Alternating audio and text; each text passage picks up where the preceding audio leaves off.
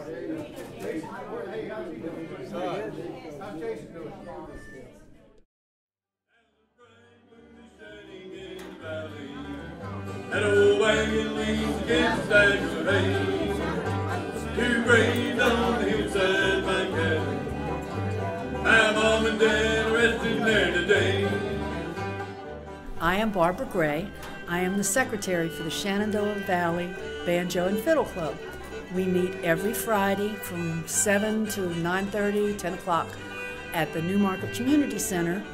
Um, the club has been together for 25, over 25 years, and everybody just comes and plays and has a good time. It's some people bring snacks and you can get a cup of coffee or a drink, and we just listen to bluegrass music or just about any kind of music. If somebody wants to come and play jazz, that's fine. If they, we have people that come and play the harmonica, banjo, fiddle, mandolin, anything you want to bring, we're ready to listen to it. My mom and dad resting there today.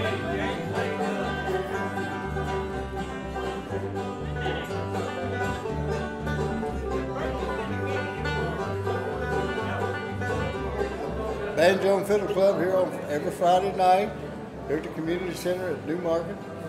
Uh, all got people plays are welcome to come by. It's an open jam. Nobody gets paid, and we just have a good time, and, and people seem to enjoy it. Uh, that's about all I can tell you.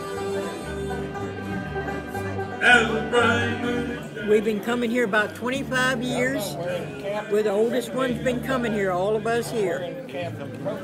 And this is our home away from home.